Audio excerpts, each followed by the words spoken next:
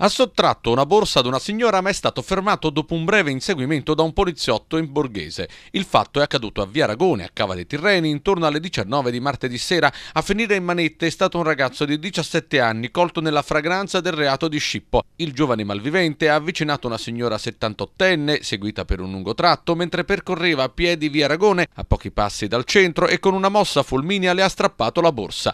All'intera scena, tuttavia, aveva assistito un agente cavese della Polizia Giudiziaria di Napoli, libero dal servizio, che dopo essersi sincerato delle condizioni della donna, si è subito messo all'inseguimento del ladro, che nel frattempo si era liberato della refruttiva per strada. La fuga del ragazzo è durata poche centinaia di metri, l'agente in borghese lo ha bloccato e ha allertato i colleghi del commissariato di Corso Palatucci, che accorsi sul posto lo hanno subito arrestato. La borsa è stata restituita alla donna.